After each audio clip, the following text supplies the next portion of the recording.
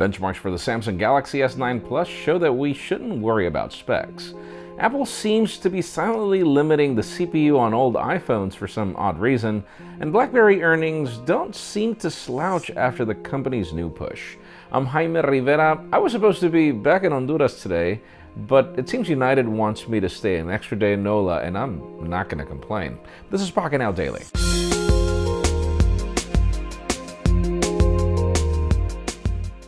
The official news today begin with deals. If you're in the market for any iPhone right now, T-Mobile is probably one of your best options.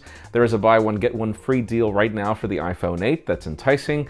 Even more interesting, if you want the iPhone 10, there is actually a trade-in option available. You can learn more in the description. Now let's talk about BlackBerry. The company has just posted its quarter results, and uh, for those of you that thought you should worry about BlackBerry, it's very interesting once you dig into the numbers. First of all, the company reports that 25% of its revenue is down, but once you start digging into the amount of profit, their profit is currently at 74%, uh, which is kind of crazy. I hope I got the numbers right, but most important is great to see that the whole partnership between TCL and BlackBerry and the company's push into software has, you know, worked because this is one of those brands we really don't want to go away. And speaking of earnings, for those of you that are scratching your heads over why Samsung is Apple's primary partner in the OLED displays for the iPhone 10, there's a big number involved. Analysts are confirming that uh, Samsung is pretty much going to make $20 billion in revenue from this whole screen operation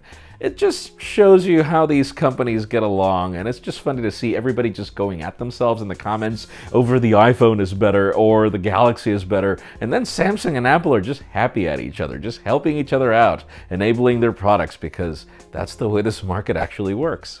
Now, speaking of Apple, we've got some very interesting news that emerged from Geekbench, where there are some forums that are claiming that there are problems in the performance of the iPhone 6s and iPhone 7, and some benchmarks have just proven that after the recent software updates to these phones, the processor is being throttled by Apple, and the claims have to do with battery life. Apparently, Apple is trying to preserve and provide better battery life, but doing so at the expense of performance.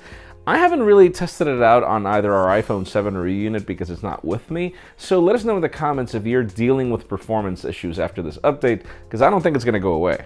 And finally, the very hot news today have to do with the Samsung Galaxy S9 Plus. There are some benchmarks from this phone. For those of you that were worried about things like 4 gigabytes of RAM on this smartphone, according to this benchmark, it's 6 gigabytes of RAM, but then it makes us wonder if that's going to be the case for the Galaxy S9, the regular size variant, as apparently that one's going to stick to 4 gigs. Uh, processor Snapdragon 845 in addition to the Exynos 9810, so we can expect the best top-of-the-line second-generation 10-nanometer process here. Uh, but it leads me to the question today, I mean, what do you think about the specifications in these benchmarks? Do you think that Samsung is going the right route, or do you think that the company should push a little harder? Because in my case, you know, I, I feel that Samsung does a great job at not catching up, but not in this case. I mean, why not something even better? Leave us a comment down below. We would love to know your opinion. Friends, again, if you want to get the news earlier, follow us on PocketNow.com and subscribe to our channel by hitting this button up here. You can watch yesterday's Pocketnow Daily up here and our review of the Pixel 2 XL down here. You can also follow me on Twitter, Jaime underscore Rivera, on Instagram at Jaime Rivera. Please give this video a thumbs up if you like what you saw. I am Jaime Rivera. Thanks so much for watching. We'll see you tomorrow.